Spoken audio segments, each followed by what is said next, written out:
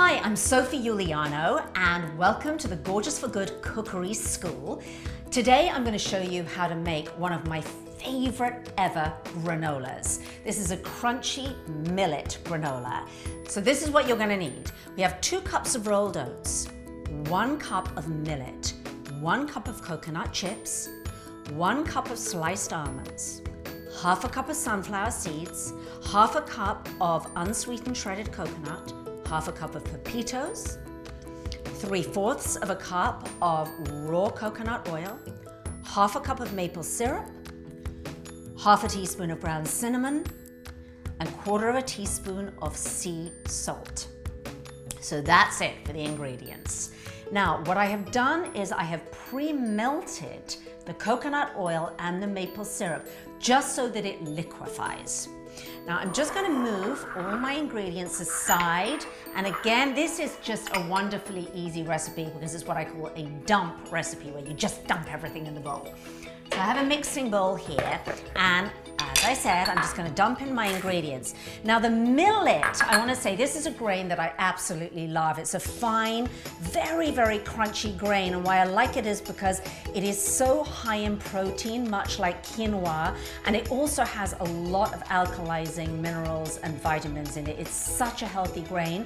You can find that online or at your local health food store. So let's throw all this in here. Love almonds, sliced almonds, give it that crunch. Coconut chips, just smelling those. I just like snacking on those all the time. Seeds are always a great thing. And to put in our salt. When you use salt, make sure it's proper sea salt. Himalayan sea salt is a really good way to go. I've got my cinnamon here. I'm simply gonna mix all that up really well, make sure all the ingredients are very well coated. And then comes the fun part. I'm going to add my liquefied maple syrup. Yum! And make sure you use real maple syrup, by the way, because there's a lot of fake maple syrup. That syrup that's flavored and it's really not very good for you. It has a lot of very unhealthy ingredients in it. We don't want that. And the maple syrup is a good sugar. It doesn't really, the amount we're using will not raise your glycemic levels. It's super duper healthy and it just gives it that little sweetness that you and your whole family are gonna love. Now the parchment paper lined baking sheet right here.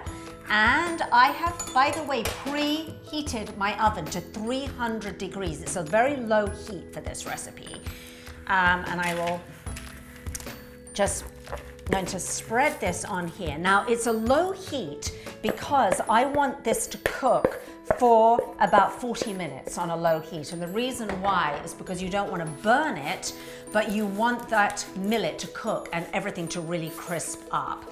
So you're gonna cook it for 40 minutes until it's nice and brown. And the one thing that I do want you to do with this recipe is every 10 or 15 minutes, just turn it over with a spoon so that the color and the browning is even throughout. All right. Oh, hello. Disappearing down here. Now I have a finished version right here, which is, as you can see here, is nicely browned, everything evenly browned and super crunchy. And finally, I am going to plate this up for you in the way that I enjoy eating it. And you can just pop some in a bag and use it as a snack throughout the day as well. But I like to put mine in a little bowl.